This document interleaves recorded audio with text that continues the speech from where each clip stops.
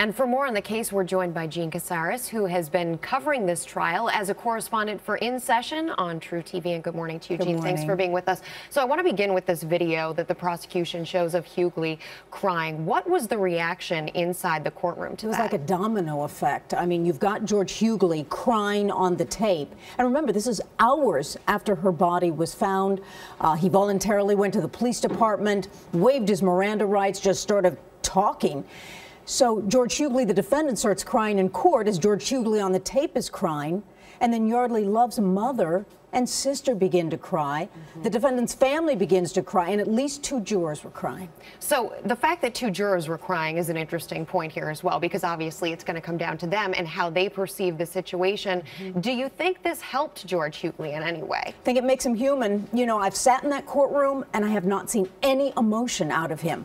He will not look at crime scene photos. Remember, this was his girlfriend. Now, mm -hmm. prosecutors say he beat her to death with premeditated murder or felony murder, but it was his girlfriend too. When the crime scene photos go on the screen, he looks away mm. and yesterday broke down sobbing. So might this be something that could backfire then on the prosecution? Possibly, but but George Huguely, with everything he said that came out yesterday, the jury is going to look at the evidence. Is George Huguely telling the truth on the tape? Because remember, there's a very critical email the prosecution brought in from the Friday before the mm -hmm. Sunday that she died, where George is upset she's dating somebody else and says, I should have killed you. But the end of that email chain, George says, Look, can't we talk tonight? When he went into police station, he said, I just wanted to talk with her. But yet her bruises were so bad and she had a black eye. She didn't give that to herself.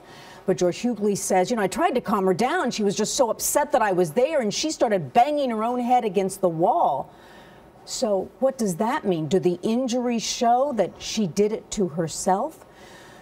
I don't know. It's going to come down to the medical science. You think that's what it'll come down it's to? Critical. It's the, critical. The defense has made the point now in their opening remarks, not that he's not guilty, not that he's innocent, but they've tried to make the case for this being involuntary manslaughter. That was amazing because normally they say, and at the end of this trial, we ask you to find the defendant not guilty.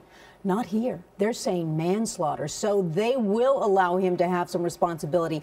But they say he didn't premeditate this. He didn't deliberate this. This is not first degree murder and it's not felony murder. It's manslaughter. That's up to 10 years in Virginia. Mm -hmm. He served two.